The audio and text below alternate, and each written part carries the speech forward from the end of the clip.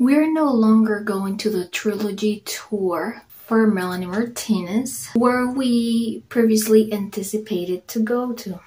We are definitely going, but we had to switch places due to number one, the distance, and we just simply found tickets that were a lot closer to us. Welcome to That's Just Tara, this is Melissa, and this video today it's going to be found in our playlist Melanie Martinez reactions and more.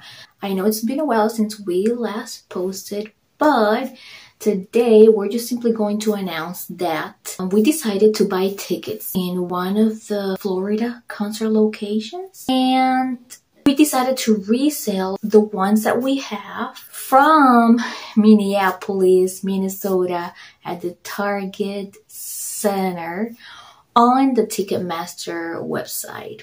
This concert is going to take place on June 11th and if you are looking for two seats and those seats being together, we are reselling them on section 201 row Q seats 3 and 4. Section 201 row Q seats 3 and 4. This is going to be the concert on Tuesday, June 11th at the Target Center located in Minneapolis, Minnesota. Now these seats are not, you know, all the way on the front. They're not the best seats or anything, but they're like right in the middle. That means that, you know, you're just gonna, you're going to have a straight view.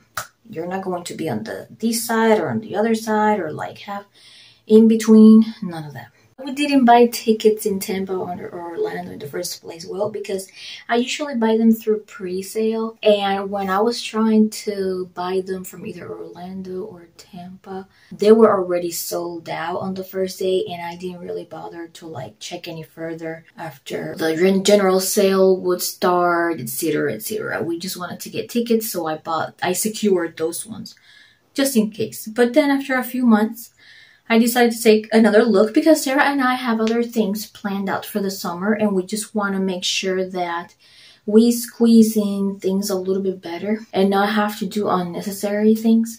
So that's the reason why we decided to switch um, the whole thing over to Florida because the tickets were available and they were not at a bad price at all.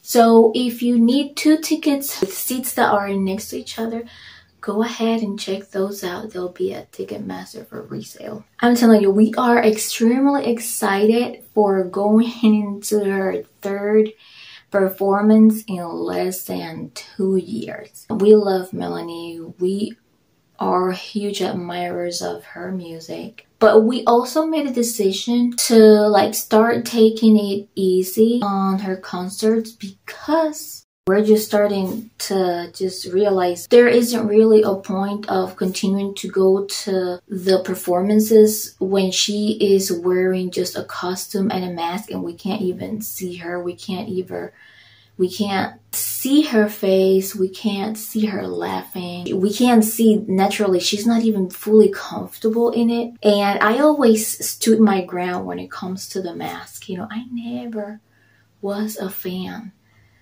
of the creature mask. I was never a fan of that. You know, I was a fan of Melanie Martinez, who she was back then, and I always took my ground when it comes to that in the videos. Are we still going to love Melanie Martinez? Yes, we love her a lot. We are huge fans, but you know, we're not going to be to any more concerts. We know that apparently there will be some songs where she won't be wearing her mask. But then after this, if she continues to do it, we're just going to take a pause until she comes through a different era and then we'll get back on the wagon once again.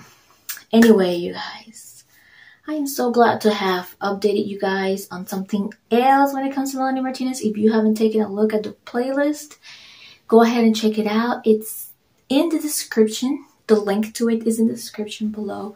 Enjoy it. Uh, we will vlog also our next adventure when it comes to the next Melanie Martinez concert like we always do. And I'll see you guys next time.